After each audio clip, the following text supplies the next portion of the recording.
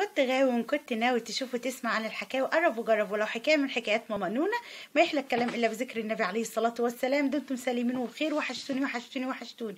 أنا يا جماعة النهارده جايبة لكم فيديو عن سيرة النبي عن السيرة النبوية بنكمل الحلقات. وقلنا قبل كده لما سيدنا محمد راح لورقه بن نوفل وإيه اللي حكى له عنه؟ لما حكى له إن انت اللي هتبقى النبي المنتظر وقام بس على دماغه. نكملوا بقية الحلقات بقى. اتفضلوا معايا. ابتدوا زي ما قلنا سيدنا محمد والسيدة خديجة بعد لما رجعوا من عند ورقة بن نوفل اطمنوا وعرفوا إن النبي اللي ربنا اختاره هو سيدنا محمد. فالسيدة خديجة آمنت بسيدنا محمد كانت أول من آمنت بيه. يعني هي يعني إيه؟ يعني قالت أنا هسمع كلام سيدنا محمد في كل حاجة. هيقول لي عليها عشان هو النبي اللي هيعلمني كلام ربنا. يبقى مين أول واحد آمنت بسيدنا محمد وسمعت كلامه؟ السيدة خديجة رضي الله عنها. الجزئية دي أنا ما كنتش هقولها. سيدنا محمد اطمن ورجع الغار تاني.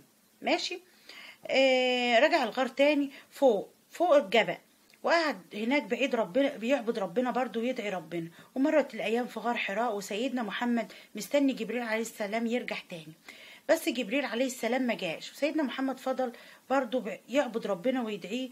ولما خلص نزل من الجبل عشان يرجع بيته. وبعدين لما وصل لآخر الجبل تحته ومشى سمع صوت بينادي عليه.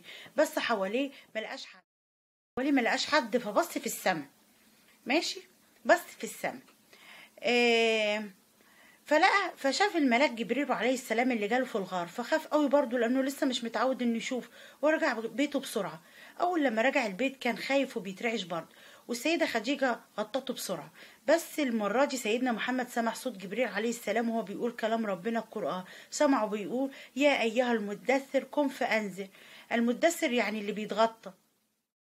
انت يا محمد قوم المدثر دوت يعني قصده على سيدنا محمد. انت بتتغطى عشان خايف ما تخافش وقوم علم الناس يعبدوا ربنا عشان يدخلوا الجنة وقول لهم اللي بيعبدوا الأصنام ربنا مش هيحبه وهيبقى مكانه في النار. سيدنا محمد اطمن وبقى مش خايف. وعرف إن النبي اللي ربنا خ... إنه هو النبي اللي ربنا اختاره وإن جبريل هو الملاك اللي هيقول له كلام ربنا. عشان سيدنا محمد يعلم الناس كلها. سيدنا محمد بدأ يقول للناس بس في السر يقول لهم إنه إنه النبي وإنهم لازم يعبدوا ربنا بس. إنهم لازم يعبدوا ربنا بس وإنهم يعبدوا ويعملوا الخير وتبقى أخلاقهم طيبه كان بيقول كده للناس في السر عشان الكفار الأشرار لو عرفوا يؤذوه وهيضايقوه وهيضايقوا المؤمنين الطيبين. أول راجل آمن بسيدنا محمد يعني سمع كلامه وصدقه كان سيدنا أبو بكر الصديق. ده كان صاحب سيدنا محمد عليه الصلاة والسلام ما تصلوا عليه كان صاحبه جدا. وأبو بكر عارف من زمان إن سيدنا محمد صادق أمين وعمره ما قال غير الصدق.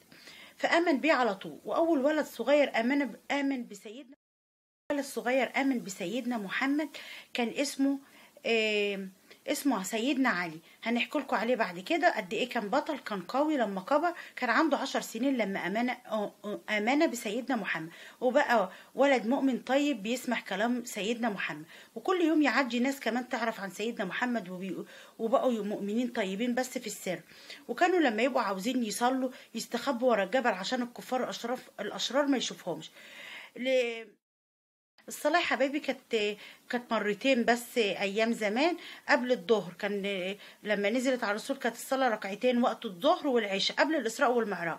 كانوا بيجتمعوا في السر في بيت اسمه دار ابن الأرقم. يقعدوا المؤمنين الطيبين مع بعض ومعاهم سيدنا محمد صلى الله عليه وسلم يعلمهم القرآن كلام ربنا ويعرفهم إن ربنا خلقهم وخلق كل حاجة في الدنيا وإنهم يعبدون ربنا بس لأن ربنا هو اللي بيعمل الخير ويقدر يعمل لنا كل حاجة ويعلمهم الأخلاق الطيبة. الصدق فضل سيدنا محمد ثلاث سنين ثلاث سنين يقول للناس في السر ويعلمهم في السر لغاية ما جبريل عليه السلام قال له لازم تعرف تعرف كل الناس وتعلن للكل كل الناس لازم تعرف بس يا ترى الكفار الأشرار لما يعرفوا هيحصل إيه؟ هنكمل في الحلقة الجاية واشوف وشكم في خير في الحلقة الجاية والسلام عليكم ورحمة الله وبركاته. استنوني في حلقات جديدة من السيرة النبوية أوعوا يفوتكم أي حلقة. مع السلامة.